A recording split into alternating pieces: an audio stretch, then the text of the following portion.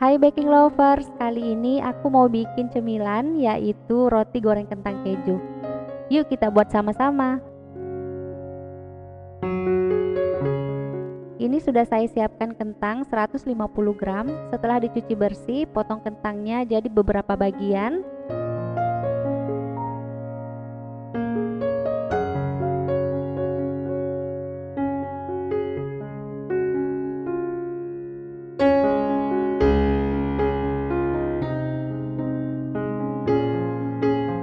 kemudian direbus di air yang sudah mendidih. Nah, kurang lebih rebus selama 20 menit atau sampai kentangnya matang dan lembek. Setelah itu kita angkat.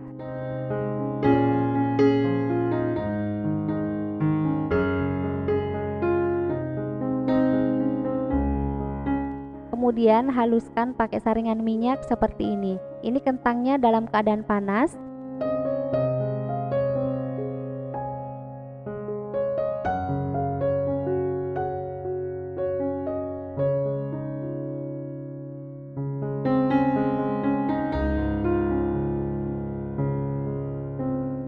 Setelah dihaluskan, tambahkan sejumput lada putih dengan sejumput garam.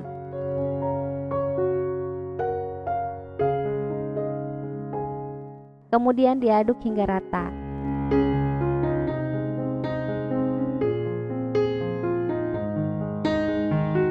Di sini saya akan pakai Emina Mozzarella Slice, pertama di Indonesia, keju slice dengan sensasi campuran mozzarella dan cheddar. Rasanya lebih gurih, teksturnya lembut, elastis, dan mudah meleleh. Saya akan pakai 4 slice, namun isinya satu bungkus ini terdapat 5 slice ya. Lalu kita bagi jadi 4.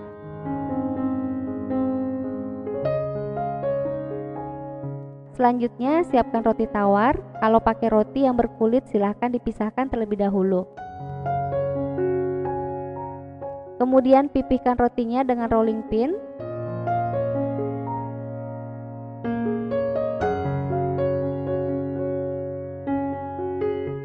Lalu kita isi dengan satu sendok teh kentang, terus kita pipihkan.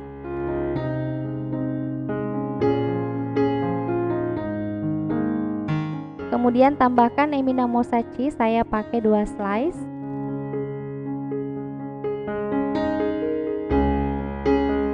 Terus ditutupi lagi dengan kentang.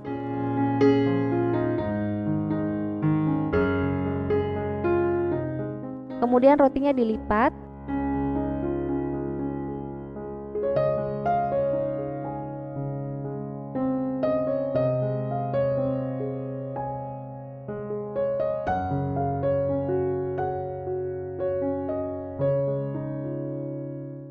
Lalu boleh dirapikan pinggirnya.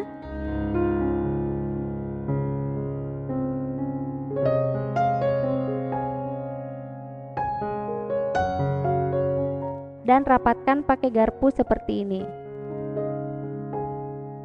Lakukan hal yang sama sampai habis ya.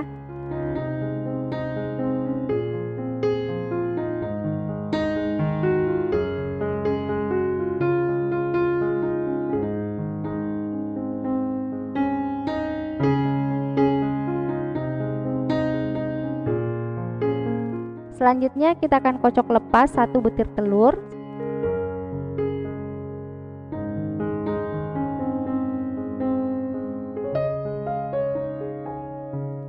Masukkan roti ke dalam kocokan telur.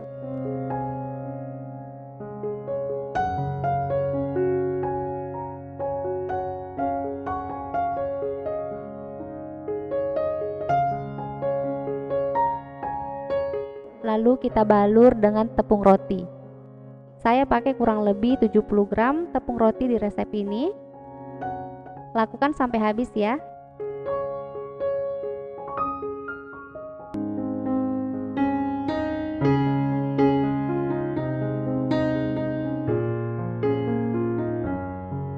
Selanjutnya kita akan goreng di minyak yang sudah panas, goreng sampai agak kecoklatan.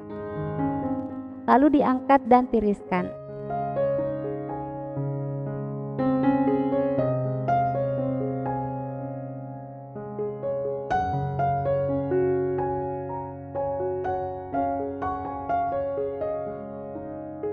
Ini dia hasilnya, yuk kita cobain.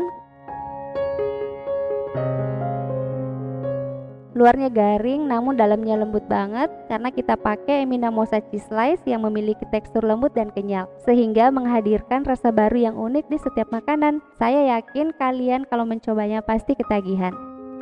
Terima kasih sudah menonton video ini, semoga bermanfaat buat kalian. Sampai ketemu lagi di video berikutnya.